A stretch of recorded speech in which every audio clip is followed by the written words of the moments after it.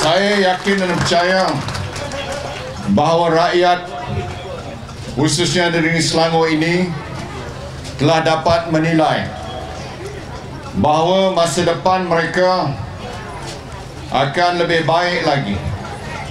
Dan Selangor akan men- menuju kepada masa depan di mana perubahan yang lebih bermakna dapat kita lakukan. Soal yang paling besar dan paling kritikal ialah soal air.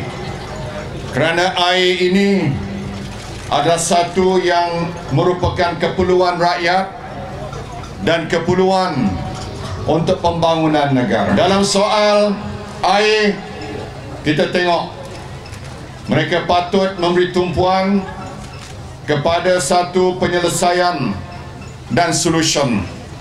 Sebaliknya, mereka duk haruk nak ambil alih syarikat-syarikat air. Mereka utamakan ambil alih syarikat.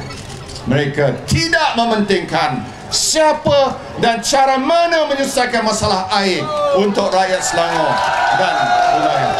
Saya beri jaminan sebagai pengurusi Barisan Nasional Negeri Selangor bahawa kutaman pertama kita ialah untuk menjamin bekalan air berterusan terjamin.